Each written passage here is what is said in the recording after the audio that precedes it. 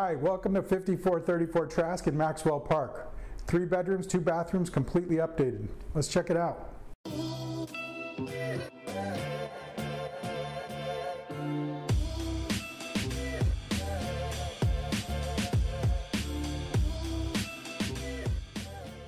When you walk into Trask, you'll see it's an open concept.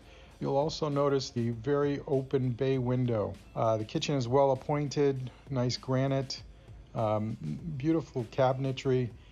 So walking into the master bedroom, uh, you'll see it's compact but very versatile, and it's got a three-quarter bath with a shower. Um, the same marble flooring is in the bathroom, and beautiful wood floors in the in the bedroom. There's a little neat little closet over here uh, that's great for storage. Shelves can be put in there uh, and, and very, very uh, functional.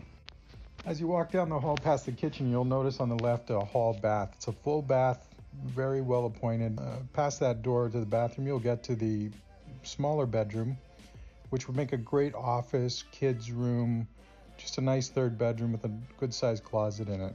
5434 Trask has an excellent outdoor living space. Let's check it out. As you walk outside, you'll notice two separate outdoor living spaces.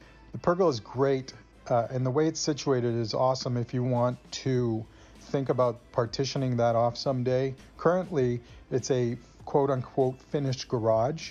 It's got the same marble flooring that's in the house. Uh, it's airtight and ready for anything that you'd like to use it for.